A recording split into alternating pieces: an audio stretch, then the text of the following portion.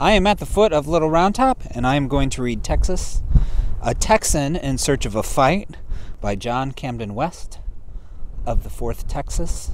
His account, July 3rd, July 2nd, 1863. It's cold. General Longstreet and Hood were opposed to attacking the enemy in a position of their own choosing.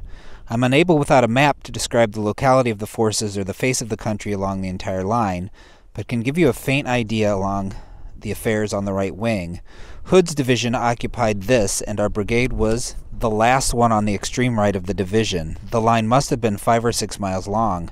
We were put into the fight about three o'clock in the afternoon of the second, having marched all night on the first and laid in line of battle all the morning of the second. And my first lesson as a recruit was to lie for about a half an hour under what most experienced soldiers called the worst shelling they had ever witnessed. Several were killed and many wounded in a few feet of me, and the infernal machines came tearing and whirring through the ranks with a most demoralizing tendency. This, however, was soon over. Our line was formed, and with a voice that Stentor might have envied, General Hood gave the command Forward, steady, forward. He was on horseback. On the left of a line from our brigade to the battery plane upon us and about 300 yards from me, and forward we went. The word passed down the line, quick, but not double quick. We moved as fast as we could. Off went blankets, knapsacks, and all surplus baggage, and yelling and screaming we rushed on the batteries. On one of a lofty eminence beyond a rock fence and a small branch, the other back of it on quite a mountain about 300 yards farther and a little off to the right, we were a full three quarters of a mile from us when the word forward was given. The result was the line became broken and confused, and the men exhausted, having marched all of the previous night. By the time they reached the foot of the hill, nevertheless, the first battery was taken, and after rallying the best manner possible, several desperate efforts were made to charge the second.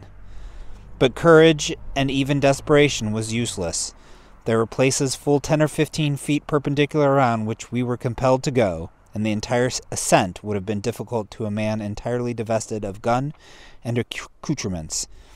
It was a mass of rock and boulders, amid which a mountain goat would have revelled, and being subject to fire, on which the left flank made it a most dangerous and unsafe place for a soldier, and many fellow reminded me of the alliteration, Round the rude rock the ragged rascal ran.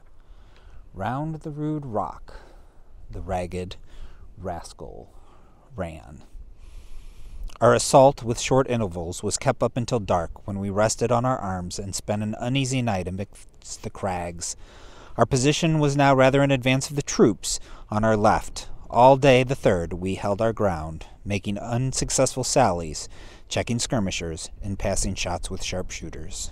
One of whom, secret in a tree on the side of the mountain, put a bullet in an inch of my head as I leaned against the rock part of the bullet flying into my lip. That was John Camden West of the 4th Texas in his account, A Texan in Search of a Fight, being the diary and letters of a private soldier in Hood's Texas Brigade, published in 1901. Thanks for watching.